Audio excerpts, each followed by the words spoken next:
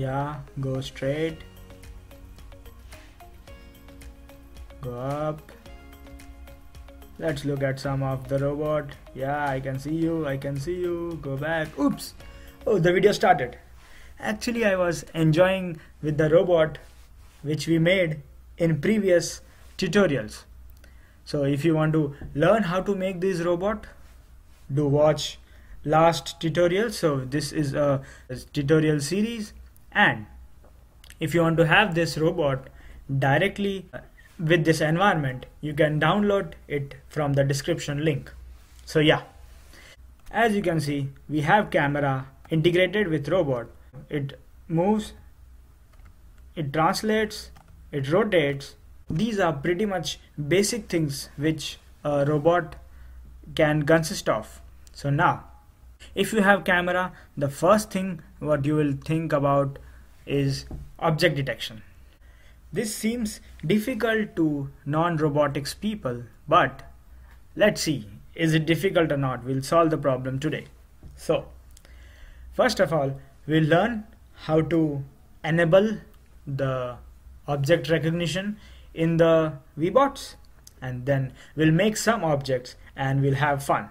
So let's start. So first of all, for recognition, we need to go to camera node. So we go to robot. Inside robot, we have children where there's a sliding joint. So in sliding joint, we have an hinge joint where there is a hinge which rotates the camera.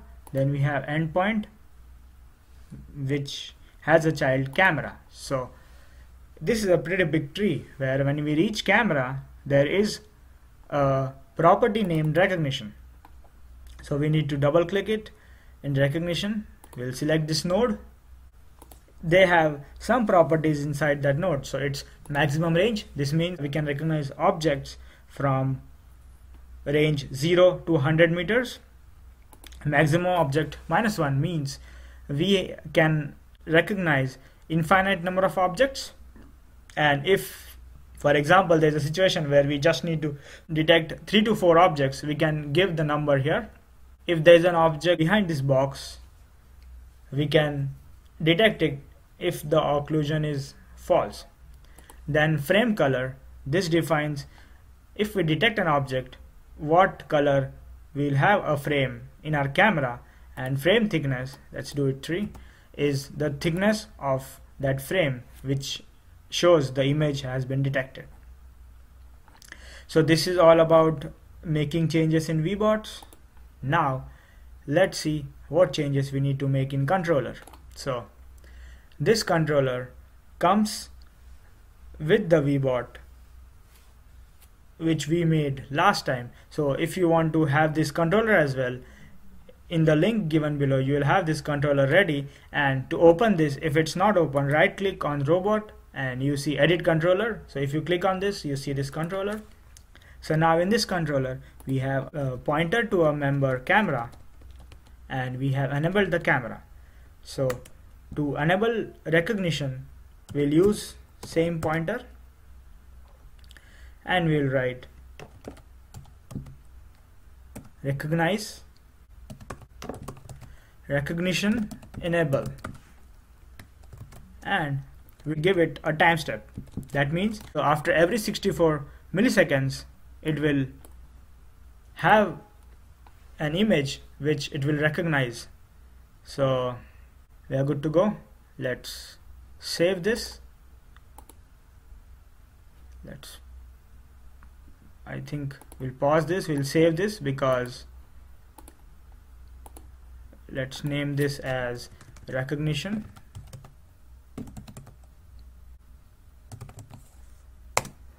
okay? So now we have saved this. Let's take it back. And now we are ready with the recognition node. So let's reset the environment. Yeah? Move the robot. And rotate. It's not recognizing anything. Oops. Then what is being missed? I did this on purpose so that if you are not able to recognize in spite of doing these two changes, it's okay. now to recognize there is one more property. So we'll show it by an object. So we'll make an object solid. We'll make a shape. Yeah.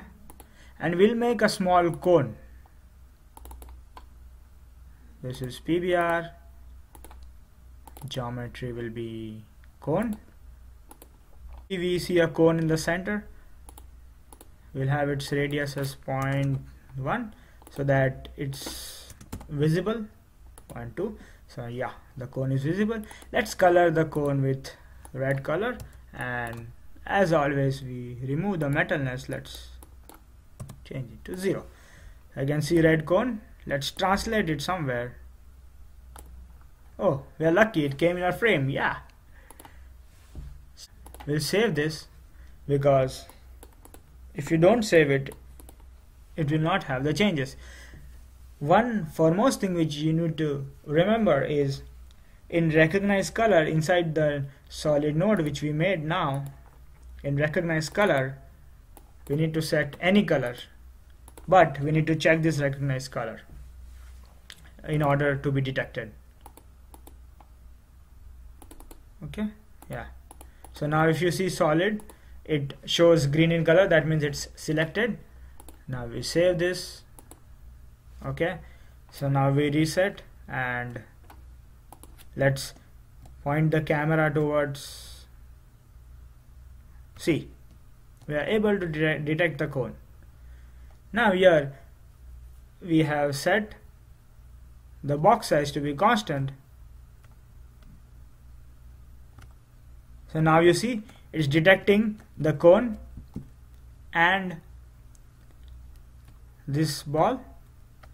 The reason of detecting this ball is so if you see if I go in solid of this ball I have made this recognize color on.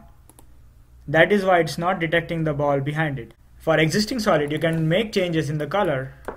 And as you see if I give any color it doesn't matter. See it started detecting that as well so we are able to recognize the balls and the cone. So that means we learned how to recognize a base shape and other existing shapes. Our recognition practice. So now let me check how can we detect this box. So this is a ready-made proto right? You see wooden box. It would be great if we could recognize the wooden box. So let's do it we click on wooden box we right click it and we convert it to base node. And now it's solid. It has recognition color. Even if I don't give any color still this box let's see does it recognize the box? Oh yeah it recognizes the box. So you see if you have existing proto you can convert it to base link and then on the recognition color and you can recognize. So this was all about recognition. It would be cool if you can recognize and make some game out of this. So, in this case, you can even have a game where uh, you need to find an object which is the only thing which can be recognized, and you can wander your robot around randomly and find that object. So, I would be happy if you make such games and share the video with me on my Instagram handle which is Soft Illusion. And if you like the videos, do share and play around with robots. Thank you.